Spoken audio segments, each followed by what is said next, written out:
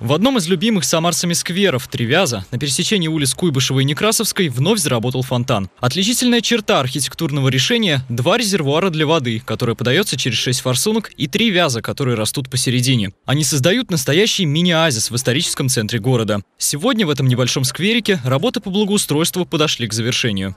В прошлом году мы просто хотели в данной ситуации привести его немножко в порядок, в рамках того привести газон, посадить цветы в этом вопросе. Естественно, плитка лежала та, которая, будем говорить, в 90-е годы была сделана. Уложили плитку, расставили опять скамеечки, урны и все. И он прекрасен.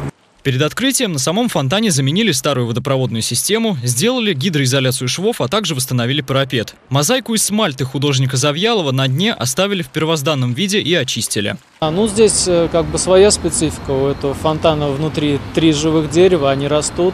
Три вяза. Они растут, поднимаются немножко, приходится добавлять грунт, землю. Вот, и в связи с этим подняли и будут, чтобы добавить земли, чтобы было где расти деревья.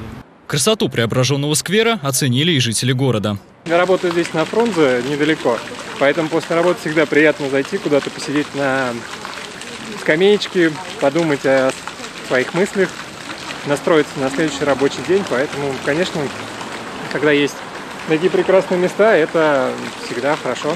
Фонтан в этом сквере будет работать и обслуживаться в том же режиме, как и все остальные фонтаны в городе. По понедельникам предусмотрена профилактика оборудования. Подтягивают сальники, чистят форсунки, заменяют и очищают воду. Запланированные в сквере работы завершены и остались последние штрихи. Полюбоваться площадкой можно уже сейчас. Михаил Ермоленко, Максим Гусев. События.